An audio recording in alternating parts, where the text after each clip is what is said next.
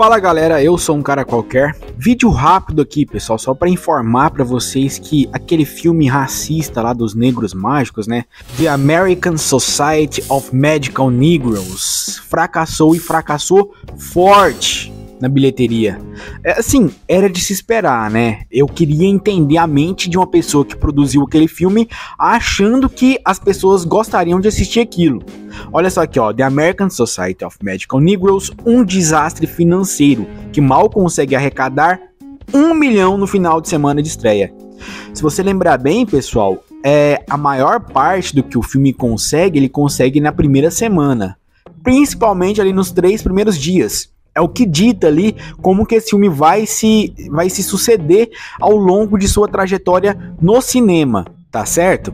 E se um filme ele vai tão mal assim na sua estreia, no seu fim de semana de estreia, Imagina aí no resto da sua temporada é, em cartaz. Olha só, comédia produzida pela Focus Features fracassa nas bilheterias, enquanto Hollywood continua a priorizar a agenda woke.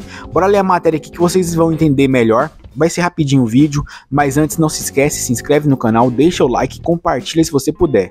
Que, ó, de acordo com informações coletadas pelo The Numbers, o filme estrelado por Justin Smith mal conseguiu ultrapassar a marca de 1 milhão de dólares, arrecadando um total de 1 milhão 304.270 no fim de semana de estreia, em 1.147 cinemas dos Estados Unidos.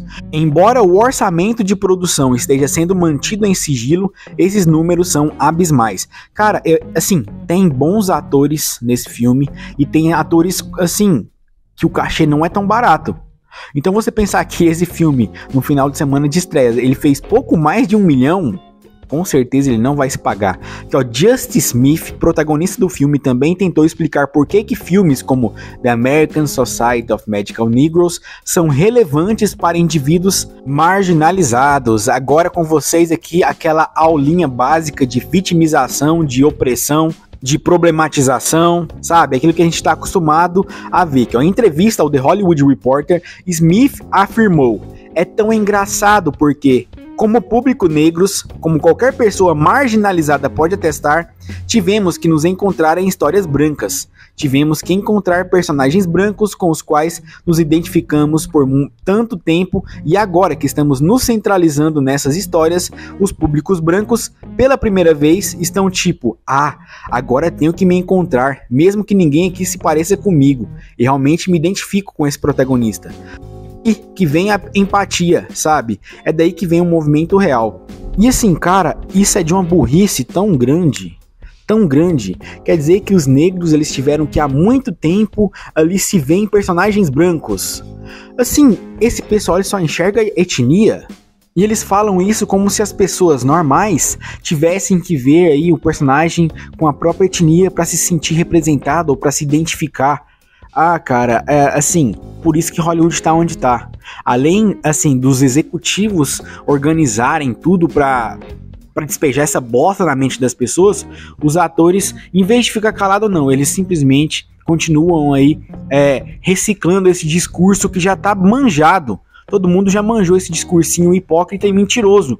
Porque, assim, no fundo, eu tenho certeza que esses canalhas, eles sabem que as pessoas normais não pensam assim. Eu não tenho mais aqui a fonte, mas é, não lembro qual vídeo que eu postei, mas teve um CEO aí da BlackRock falando, né, em 2017, se eu não me engano, em forçar comportamentos. Quer dizer, eles estavam fazendo manobras aí midiáticas, fazendo, é, fazendo a manipulação para que forçasse comportamentos nas pessoas.